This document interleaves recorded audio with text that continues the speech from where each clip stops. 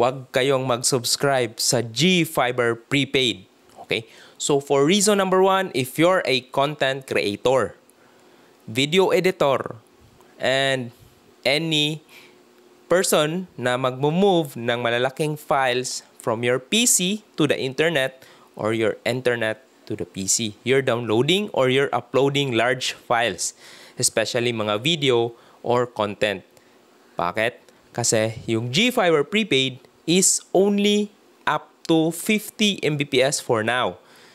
Yung 50 Mbps, pag nag-move ka ng 1 gig na file, medyo matagal po yon comparing sa 200 Mbps na G-Fiber prepaid na uh, postpaid plan. So yun, yun yung difference. 50 Mbps will be limit.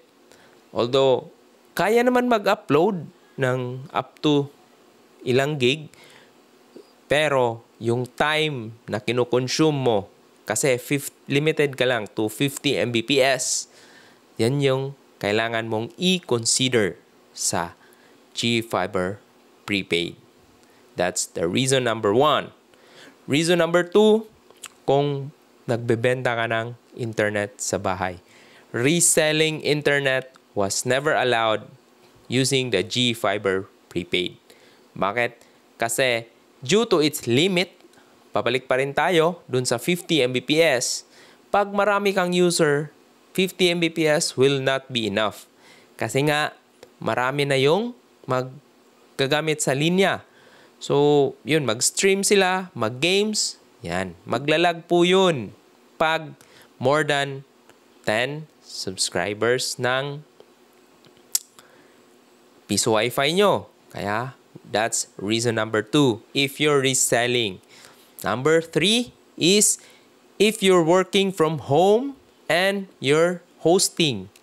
Ibig sabihin, mahilig ka mag-conference, mag-live streaming, or mag, ano, live ng gaming. Kasi games and live are limited. Kasi yun nga, babalik ka din sa 50 Mbps. So yun, if you're working from home, make sure na mag-subscribe ka doon sa postpaid na fiber. Bakit? Mas madali siyang mas mabilis kasi 200 Mbps. Tapos, meron ring mga company-specific speed ng internet. Once ma-check nila na 50 Mbps lang yon, magdadalawang isip na yan. So, if you are working from home, G-Fiber prepaid might not be your first choice. But, it can be the backup connectivity. Yun. Reason number three. Reason number four is kung napakarami nyong gumagamit sa bahay kasi yung sa website is up to 6 devices lang yung G Fiber prepaid. So 6 devices that includes mobile phone, cell phone, and oh, even if naka-enable yung LAN, yun nga, 6 devices lang yung inaalaw nila.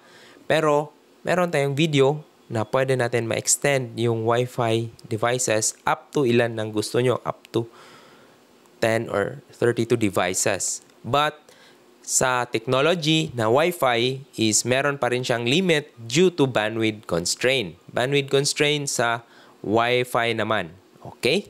So that's reason number 4. Reason number 5, kung meron kayong mga budget sa internet talaga. Kasi yung prepaid wifi is wala siyang billing. So, wala kang official statement kasi prepaid nga siya. Ikaw yung kusang maglo-load. Kung kailangan nyo ng proof of billing para sa company nyo. So, yun yung kailangan. Yung postpaid kasi nagpapadala talaga sila ng official billing with breakdown and official receipt during payment. Kaya, yun nga, kung kailangan nyo ng internet, G-Fiber prepaid. So, that's the five reason. So, ano ba yung option nyo if hindi kayo mag G-Fiber prepaid? So, G-Fiber prepaid, let's go to the G Fiber postpaid in which meron tayong lowest plan na 1299, 100 Mbps, mga 1499, depende sa lugar. So yun, magaganda po yung plan nun in which currently sa bahay nakasubscribe ako sa 1799, 200 Mbps, Wi-Fi 6 na modem. Yun nga, kung kailangan nyo ng Wi-Fi 6 na modem, hindi pa yan in-offer sa G Fiber Prepaid. Yan yung ano, isa lang na caveat dun sa G Fiber Prepaid versus the postpaid services.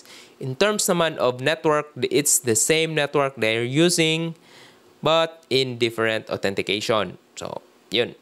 Napakaganda. Wi-Fi 6 is only available sa postpaid for now yung sa G-Fiber Prepaid, since budgeted, yun nga, limited yung capability ng Wi-Fi modem. Pero expect ka pa rin na napaka, napakagandang service comparing siya sa wireless LTE. Kasi ngayon talaga LTE is your only option if you're mobile, on mobile. Kasi kung sa bahay ka naman, G-Fiber prepaid na or G-Fiber postpaid is your right choice. Regardless of ano, meron ring mga kung anong available na fiber internet sa lugar nyo, huwag nyong ilimit yung sarili nyo. Pwede nyo rin mag-subscribe dun para mas sulit yung customer experience sa internet. So, ano ba talaga yung mga kinukonsume nyo sa internet? Pa-share naman sa comment If meron kayong nagustuhan sa video na to, pa-share sa comment. Huwag nyong ilimit yung sarili nyo. Pa-share sa mga friends nyo na meron pang planong magpakabit ng internet connectivity. Kasi ngayon, internet becomes a utility. So para rin siyang tubig, kurente, at internet. Kung wala ka dong tatlo, you belong to the what level. Okay?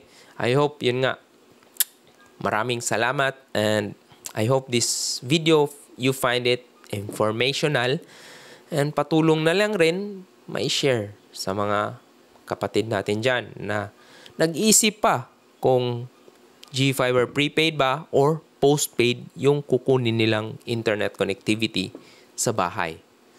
So, yun nga, let's mark it and let's keep the internet safe Meron rin akong video dyan, how to keep your children safe from the internet. So, I hope na protektahan nyo rin yung mga bata nyo when it comes to internet. Kasi, para ang internet is addictive rin kasi. Para rin siyang drugs na once na mara, ma-overuse, uh, magiging masamang effect rin yan. So, guys, watch out your kids and not only kids but also the olders who are already addicted sa internet. Meron tayong video on how to control them and share. Right? See you around.